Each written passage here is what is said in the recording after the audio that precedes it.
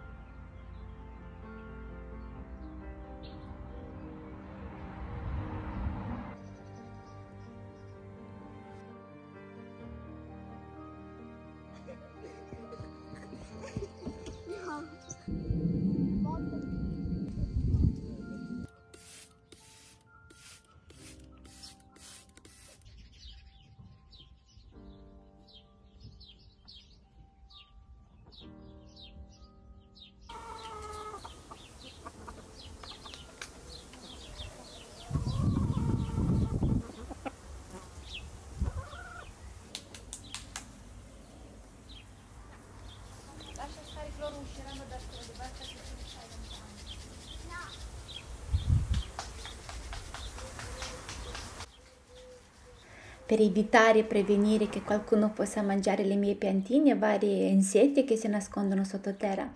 Ho fatto un trattamento, adesso con la zappa muovo un po' la terra nel modo che questa polverina vada sotto. Dopo impiantiamo le nostre piantine. Ho deciso anche di mettere un altro po' di, un altro po di granele, quello là minerale, che ho usate anche per le patate.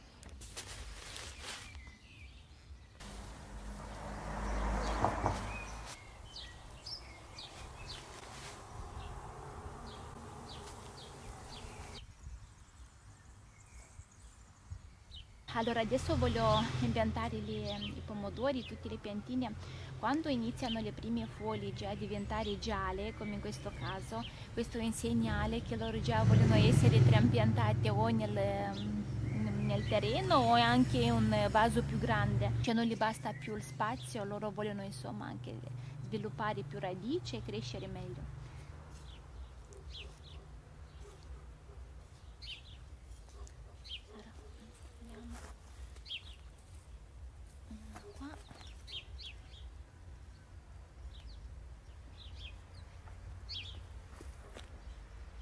Dobbiamo lasciare tra di loro minimo 50 cm, così allora quando crescono insomma, insomma che riesce a respirare bene la pianta, non mettiamoli troppo vicino perché sennò dopo si soffocano.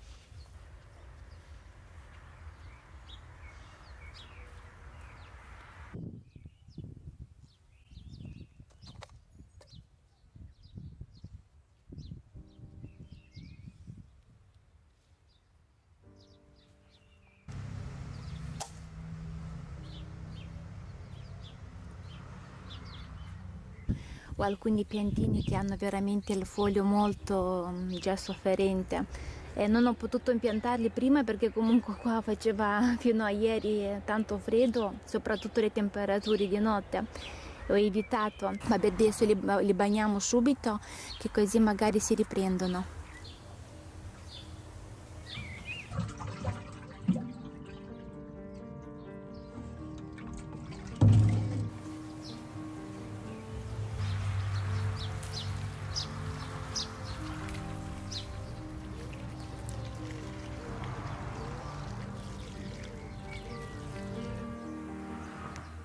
Invece su questa vasca metto le melanzane e anche alcuni peperoni.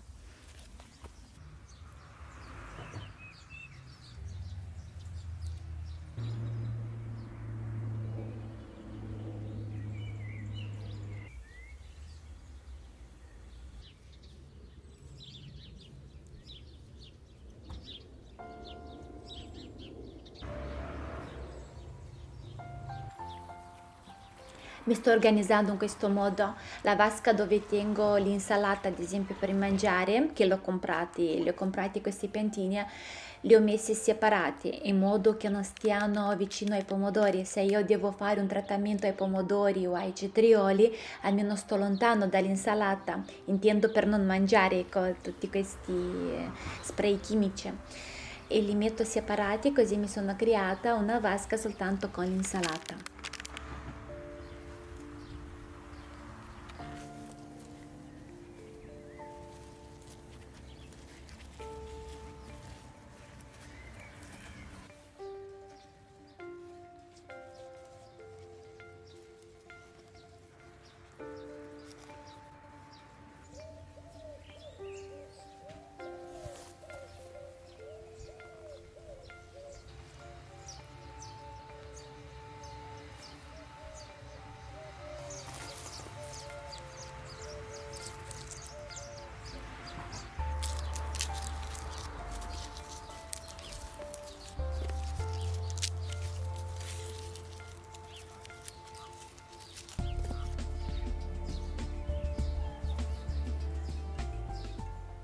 Quasi finito invece su questa mm, vasca che è molto più bassa qua voglio mettere dei fiori metto mm, i piantini che li ho comprati e dopo voglio anche seminare qualcosa. Metto tipo un girasole nano insomma ho preso dei fiori da decidere così magari dopo li tagliamo anche li mettiamo in vaso in casa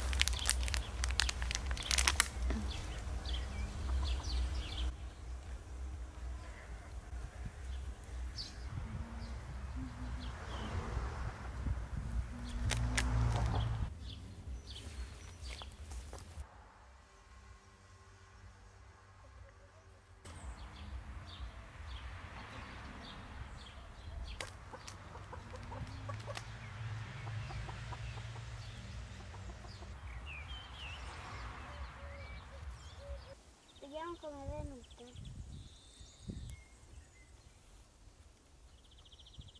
Che stai facendo Giulia? Ho fatto una foto. Foto? Funzionava. Sì. Vediamo. Secondo me diventi una blogger tu così, eh? Vero? Guarda è nero. Sì, proprio lascio lì.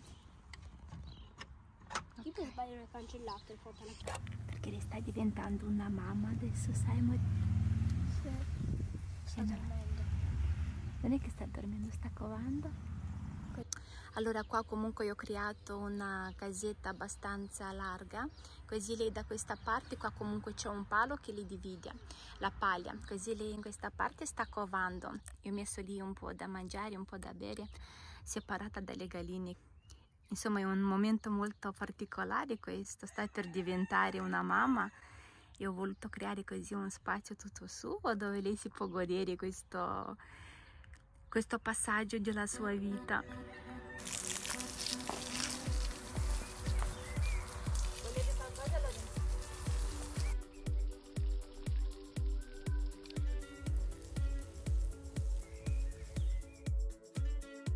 Ho fatto un piccolo acquisto da Le Creuset.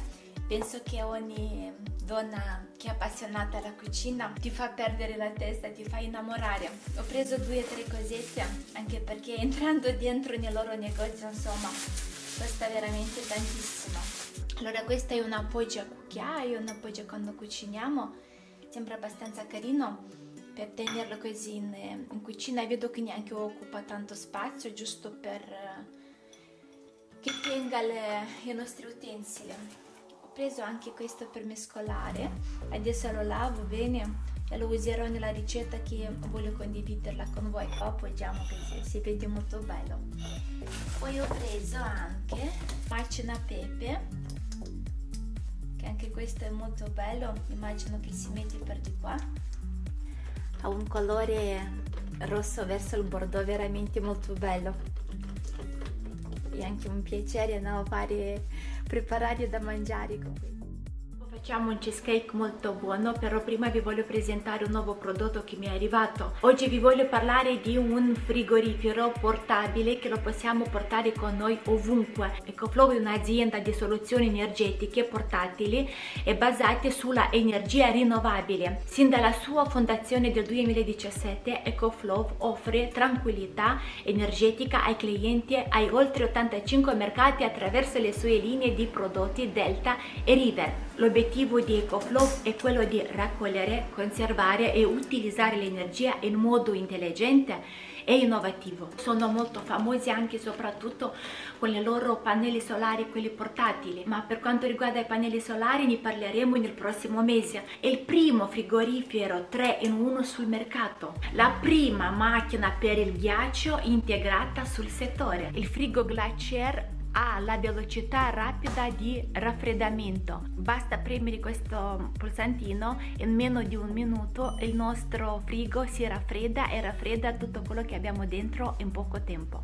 Glacier ha tripla funzione di congelatore, frigorifero e macchina per il ghiaccio. Così ci godiamo le nostre bevande fresche ovunque andiamo. Questo può essere sia in viaggio, in barca, in camion o in campeggio. È ancora più adatto a chi vive in un unico spazio, questo ad esempio come i camionisti. Il potente compressore di 120 watt offre in solo 12 minuti i cubetti di ghiaccio. Ampia capacità di 38 litri può contenere fino a 60 latini di 330 ml. Raffreddamento senza fili fino a 40 ore. C'è anche la possibilità di eh, prendersi la batteria che viene semplicemente inserita all'interno del frigorifero e questo ci permette anche di avere il nostro frigo senza fili per più tempo. La batteria c'è anche qua una uscita dove noi possiamo caricare il nostro cellulare o il nostro tablet ovunque andiamo.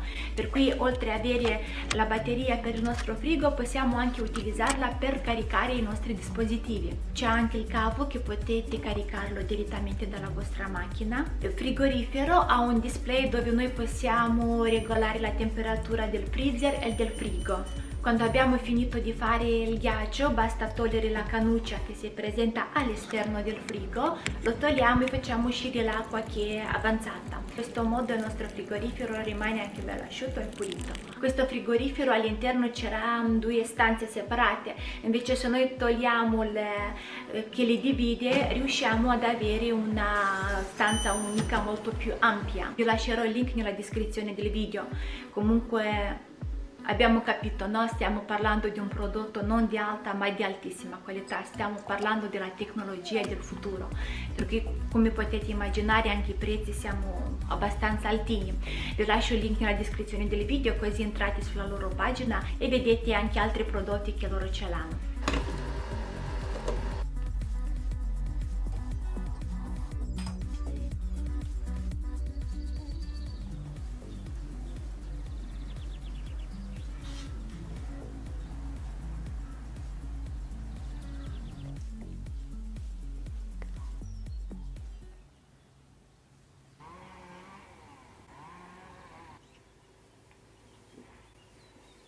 Questa ricetta ho bisogno di un po' di purè di fragole o anche le fragole congelate. Mi prendo un po' di purè di fragole e facciamo un dolce spettacolare. Allora il nostro purè di fragole li ho messi qua.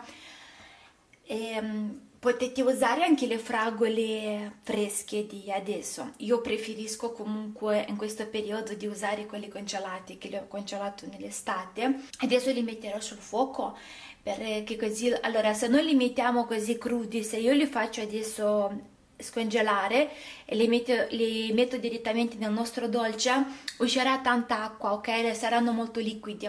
Invece se io li metto sul fuoco a bollire per 2-3 minuti loro leggermente hanno una consistenza un po' più, più densa. Vi avevo fatto una promessa che se facevo dei corsi della cucina avrei condiviso con voi eh, alcune cose perché io adesso ho fatto un corso la preparazione base per torte dolci e salate però voglio condividere con voi qualcosa che mi ha stupito anche a me io già ho provato questo dolce è uscito molto buono un cheesecake al forno però mm, è un cheesecake molto particolare e se noi rispettiamo ecco tutti questi passaggi è impossibile che non vi escano bene ho imparato alcune cose nuove, voglio condividere con voi.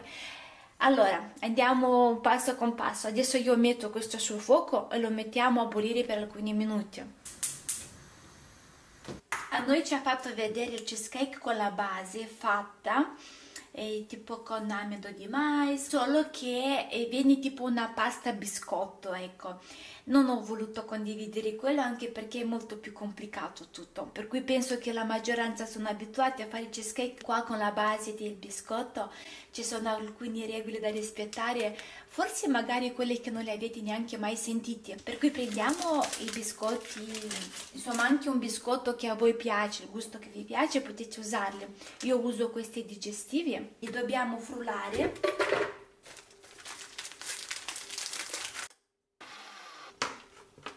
mettiamo dentro il nostro pistacchio.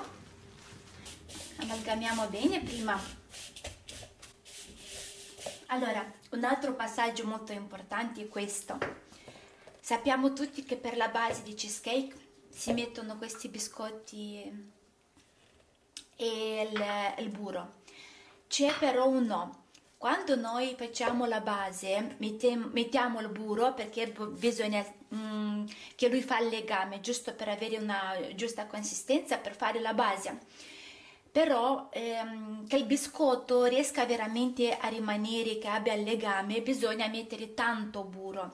E cosa succede? Quando noi mettiamo se noi mettiamo poco burro allora il biscotto si, si rompe non sta intero la base Invece se noi mettiamo tanto burro cosa succede? Soprattutto per i dolci che vanno in forno. Quando noi facciamo la base con biscotto e tanto burro, il burro, eh, come dicevo, per avere la consistenza che serve bisogna mettere più burro e di conseguenza quando mettiamo più burro, quando noi mettiamo in forno il dolce, il burro si scalda, si scioglie e tende ad andare tutto sotto il cheesecake, c'è tutto il grasso va in mezzo al cheesecake, così quando noi tagliamo o mangiamo sentiamo la parte sotto molto più grassa. E tutto ciò non è molto piacevole. invece noi abbiamo bisogno comunque di una consistenza e facciamo questo qua ho il burro fuso e ho anche il latte ok quando noi mettiamo un po' di latte potete aggiungere latte o succo di qualcosa che vi piace a voi, basta di avere un altro liquido. Così noi eh, con l'aiuto di questi due liquidi riusciamo comunque a fare una base con una bella consistenza, solo che non usiamo soltanto il burro, così il latte fa gonfiare leggermente questo biscotto e diventerà una base buona, con una buona consistenza, ma non con tanto grasso. Quanto burro, tocca latte andiamo prima pian piano.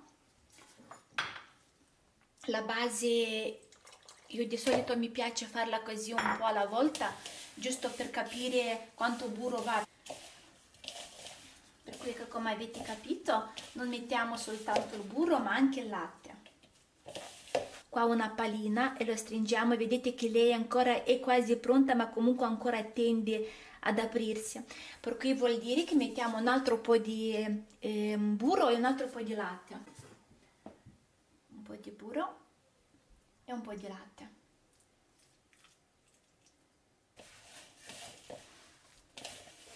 Mettiamo direttamente qua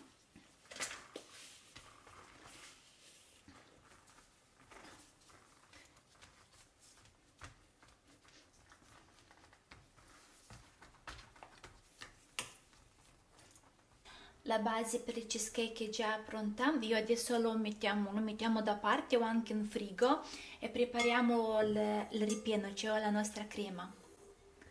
Abbiamo bisogno di formaggio spalmabile amido di mais so che tanti usano la fecola di patate per, um, per questo cheesecake però è sbagliato perché la fecola di patate è molto forte più forte di questo e tende ad essiccare il nostro cheesecake non esce così buono.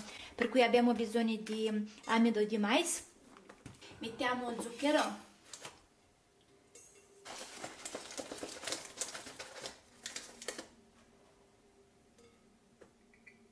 amalgamiamo bene l'amido di mais con zucchero. In questo modo quando noi accendiamo eh, la nostra planetaria con le fruste questo amido di mais che non vola via. Il nostro formaggio. Un po' di estratto di vaniglia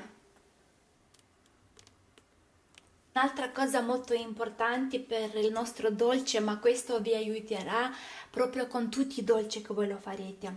Quando noi mettiamo a sbattere adesso il formaggio o la panna o anche quando facciamo la base per le torte, pan di spagna, dobbiamo sbattere tutta la nostra base cioè non fatela sbattere troppo perché se noi lo facciamo sbattere troppo cosa fa? si riempie con eh, l'aria dentro con bollicini dell'aria e quando noi mettiamo il nostro dolce in forno questi bollicini di solito cosa succede? che eh, mettendoli in forno loro crescono cioè tipo li vedi che cresce bene e dopo si lascia cioè ti fa proprio come, una, come un buco no? in mezzo al nostro dolce. Questo è dovuto perché i nostri dolci sono stati sbattuti troppo e soprattutto con la massima velocità. Noi dobbiamo eh, amalgamare bene sbattere bene nostro, la nostra base la nostra crema con la eh, minima velocità tra minima e, e, media ecco non andiamo oltre.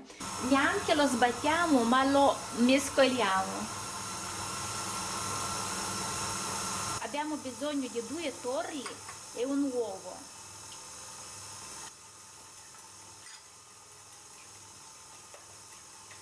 La consistenza del nostro formaggio deve arrivare così e lo vediamo molto liscio.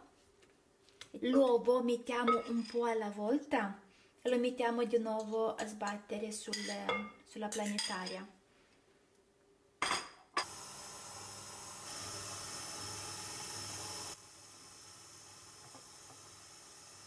messo tutto l'uovo dentro si è amalgamato bene e adesso dobbiamo aggiungere la nostra panna.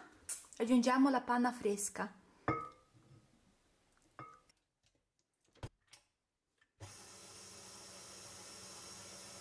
E vedete che avete più o meno una consistenza così. Prendo un po' di questa crema e lo metto in questo sac a poche e dopo vi, vi spiegherò il perché Io il purè di fragole l'ho messo a bollire per due minuti. Cosa è successo? L'acqua in eccesso che era dovuta al congelamento si è evaporata e è rimasta soltanto la polpa. Magari non c'è qualche seme che si sente nel nostro cheesecake. Ok? E con una frusta ecco qua solo che la fragola da sola non riesce comunque a dare un colorito molto più acceso, più vivo. Per cui mi aiuto con un po' di coloranti questi per alimenti metto un po' di colore rosso. Non so più come girare la telecamera perché ci tengo insomma che capite bene.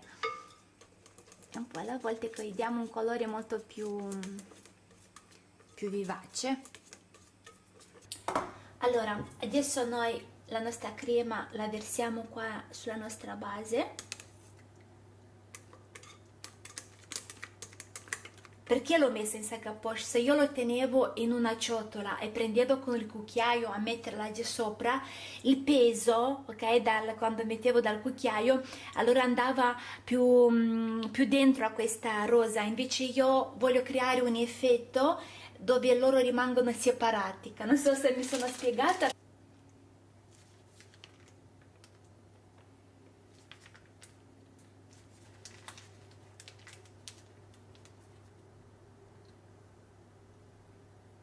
ho sbagliato perché ho lasciato mm, poca crema bianca alla fine. Avrei dovuto lasciare molto di più perché adesso faccio fatica a però è importante che vi dico di questi sbagli così voi lo fate meglio di me. Provo a raddrizzare tutto. Allora, mi sono dimenticata di dirvi una cosa, mentre io preparavo la crema ho messo a bollire un po' di acqua, io adesso prendo questo eh, cheesecake, lo metto in forno e sulla teglia del forno lo metto proprio sotto sotto l'acqua bollente, la metto dentro nella teglia, così il nostro cheesecake quando va in forno a cuocersi ha questo vapore di questa acqua bollente. Adesso vi mostro tutto. Dentro ho messo il cioccolato nel frattempo ho messo mm, a scaldare la panna c'è proprio bella bollente lo mettiamo sopra il cioccolato la, la panna. Qua il nostro cioccolato si inizia a sciogliere. Adesso mentre è ancora caldo aggiungiamo anche le foglie di gelatina. Adesso facciamo questo. Qua mi sono già preparata di nuovo la panna da montare. Lo dobbiamo montare ma non di tutto. Adesso vi farò vedere la consistenza vedete non è tanto montata. Adesso mettiamo la panna dentro nel cioccolato. Facciamo due parti una dopo un'altra.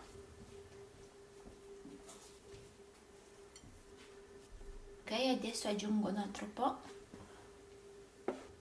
il cheesecake adesso è pronto e già l'ho messo a raffreddare. Prendiamo un phon, lo scaldiamo il bordino, così lui si distacca. Il cheesecake è molto buono, molto particolare, la parte con la fragola vi, eh, vi, rimane leggermente più morbida, proprio quello che è leggermente più acida, è proprio quello che fa il contrasto con la mousse al cioccolato. Dopo di aver messo la mousse al cioccolato sopra lo teniamo in frigo per almeno un'ora e mezza dopo lui sarà pronto. Se vogliamo che quando lo tagliamo rimane bello pulito il cheesecake allora è importante il coltello di metterlo in acqua calda e dopo lo tagliamo in questo modo non si sporcano le fettine.